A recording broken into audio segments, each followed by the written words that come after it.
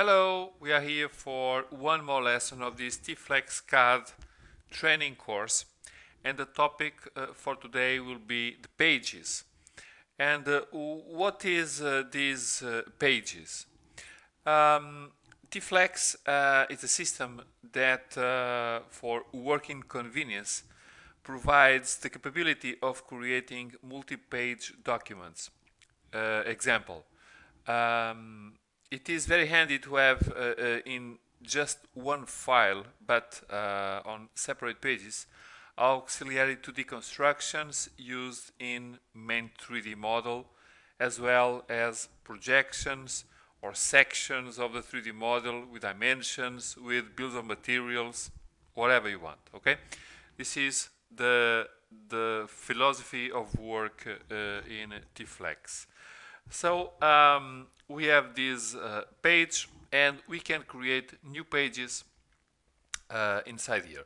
So we can do this uh, creation of the new pages in several ways. The first way is to uh, click on the page down key in your keyboard. So if I click on the page down, so I will get um, I will get this dialog box, create a new page. I will say yes and uh, you see here below page 1 page 2 because before I had only one page it was page 1 so uh, it was not shown. Now I have uh, a page 2 uh, there is one other possibility uh, to create a new page. And for that you just click PG and you get this dialog box. In here you manage everything about the pages and you can see that uh, when we create a new page, you can uh, give it a name and you can say uh, what is the page type. So you have several page types, okay? You can split uh, the page types according to these uh, categories. So you can give it, for example, auxiliary. And then you can filter these uh, types of pages for being shown or not. So I will say everything it is shown, but I can filter. And I can manage these pages by creating new ones, copy, delete, rename, uh, changing the order, whatever. So just say this. Um, we manage the information inside these pages, uh, or we manage the access to these pages uh, just clicking on the page. Okay, it's very easy. Uh, another important idea about these pages is that uh, each each page has its own configuration. So uh, inside one page, if I say um, ST, I get uh, uh, this uh, configuration, okay? And in here, I can configure, so I can use one of these uh, I can configure regarding the page uh, a lot of things and I can change it. For this page for example saying in this one I want uh, A4 okay.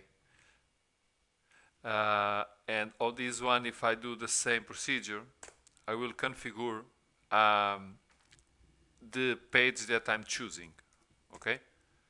Uh, sorry I made the enter. It was not needed. Um, so the configuration uh, it's done page by page.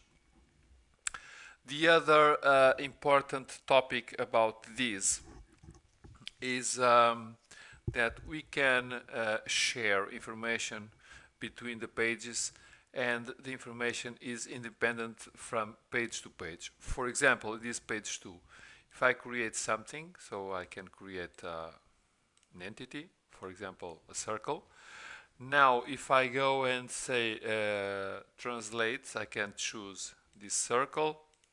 Okay, a base point, it can be, okay, this one. So I can copy this uh, in my, in in the same page, but I can click in one of the other pages and you see that I can share easily the information between the pages, okay? This is valid for uh, any type of elements. So it is also very convenient to uh, work like this.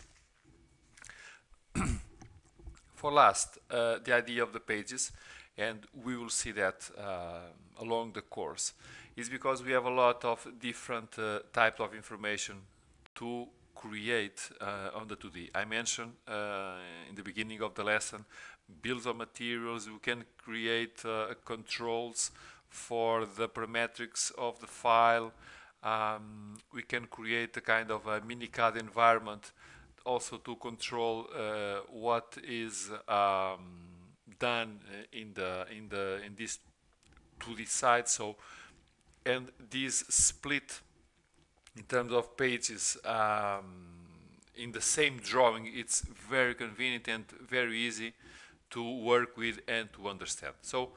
Um, I hope this was uh, clear enough so that you can start using this. Uh, anyway, as you know already, uh, any questions or any uh, topics that uh, you need some help, you can contact us.